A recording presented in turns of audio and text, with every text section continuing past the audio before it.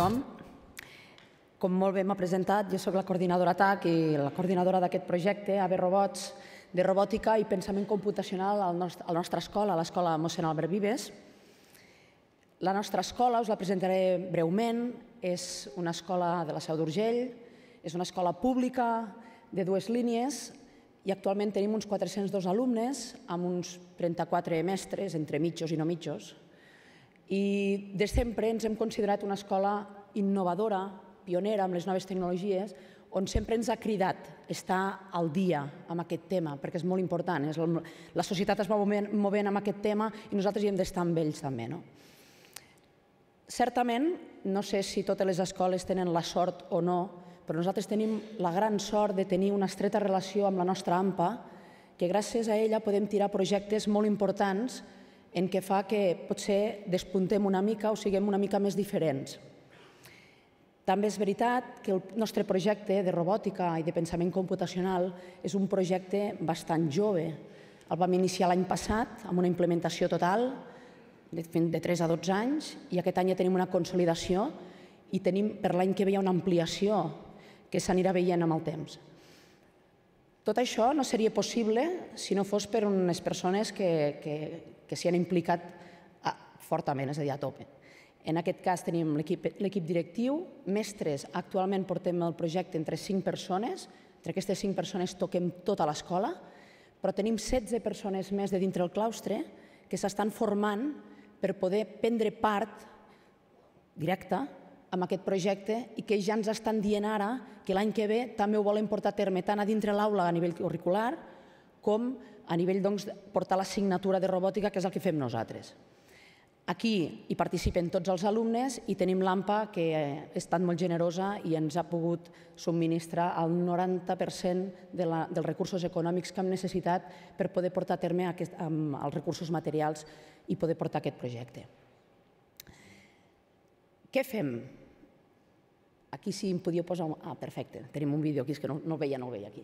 Doncs nosaltres fem la Vivot Educació Infantil de 3, 4 i 5 anys, treballem moltes coses, Després fem primers enginys a primer amb el Learn to Learn, a segon, perquè aquí es poden treballar moltes coses, a segon treballem les màquines simples, perquè és un primer pas per després eh, fer la mecànica que necessitem per poder treballar amb la robòtica.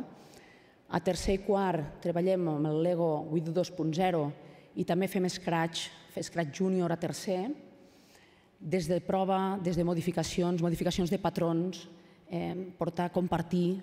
Aquest és el nostre lema. No? De, ells fan, podem compartir, modifiquem, eh, tots, tots hi guanyem amb tot l'aspecte de canvi que pot haver.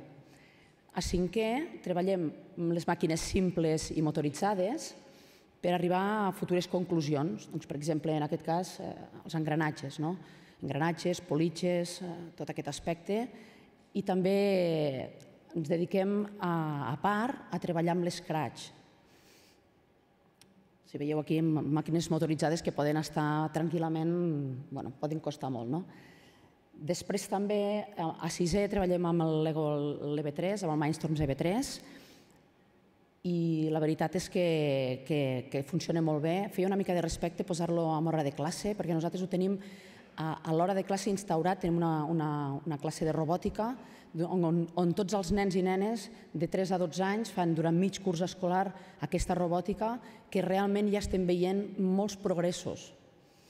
Després, un aspecte molt important a tenir en compte, que és la UCE, és l'atenció a la diversitat, importantíssima. El potencial que arriba a tenir la robòtica i treballar el pensament computacional amb aquests alumnes, tant a classe com fora de classe, si en aquest cas hi ha la mestra de la UCE, és espectacular.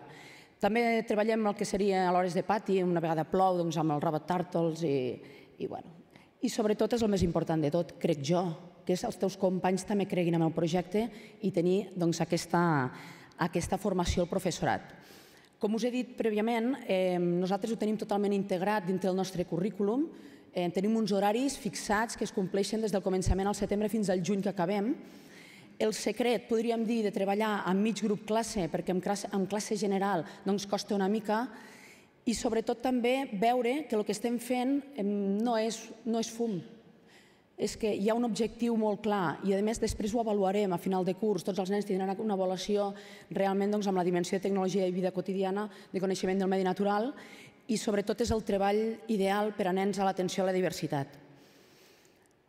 Mm, per acabar, perquè no ens donem més temps, la repercussió que hem tingut sent un, un projecte molt jove ha estat molt gran.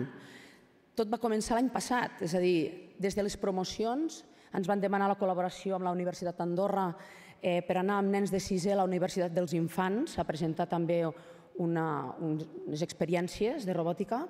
Després, l'any passat, eh, vam anar a la ponència de la jornada de programació robòtica al CityLab de Cornellà a presentar el nostre projecte. Pensàvem que podia ser interessant de veure com, si altres escoles també s'interessaven tal com funcionàvem nosaltres. I aquest any hem demanat fer una ponència una altra vegada a la jornada però sobretot per parlar de l'atenció a la diversitat, perquè aquest any i mig que portem de projecte eh, és espectacular el rendiment, el, com aquests nens estan vius a dintre una aula, tenen moltes ganes de seguir, de tenir ganes, veure que aprenen, que, que milloren, perquè la millora amb aquests alumnes és, és tremenda. Doncs baixarem a fer una, una, una ponència de potencial de la robòtica als nens i nenes d'atenció a la diversitat, Després també vam fer una ponència a l'Edulern 2017, al, juliol passat, conjuntament amb la Universitat d'Andorra, i també tenim un reportatge de la, revista Robòtica i Educació doncs, que, que bueno, ens han demanat doncs, de participar i aquest dia 2018 sortirà. I actualment estem en dos programes actuals, que un és el programa del Departament d'Ensenyament de Tecnologies Digitals per a l'Aprenentatge com a centre digital i un altre doncs, que l'empresa Cisco Systems ens va com a escollir, gràcies al Departament d'Ensenyament també, doncs, per estar treballant l'internet de les coses, eh? IOT, famo, aquesta famosa paraula. I res, i concursos amb la First Lego League Junior, ens agrada molt donar oportunitats a nens de 6 a 9 anys, que precisament ha anat molt bé, aquest dissabte vam estar, i la World Robot doncs, van quedar subcampions d'Espanya, només per comentar-ho.